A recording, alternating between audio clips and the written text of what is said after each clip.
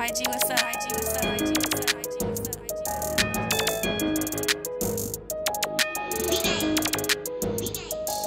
I've been having million dollar dreams, got the manifested things. You know, tell me what I can't achieve. Come talk to me, I'm Petey Greene. Got the manifested Look things. direct to make the cut on my spike and Tarantino. Since a junior, I've been mafia. I'm talking Caesar Leo. Heard you for that butter that can get you out of jam. Now you collect like Uncle Sam. Now fucking Gina next on Pam. Look, big roller hundreds, double or triple hoes. Love you. Fuck these niggas, all they on hate got nothing you. When you put it on, you feel the envy in the air. From the shoes to the glasses, I'm known to rock expensive pairs. Born to the Tigers, but I got family with the Bears. Raised in the slums, now I drink shine with millionaires. What better feeling than when you done made it out? That shit is rare, and it ain't fair how I'm flexing over my haters like Ric Flair. Yeah, with no cares at all. Nah. These niggas don't want it with me, better make a call.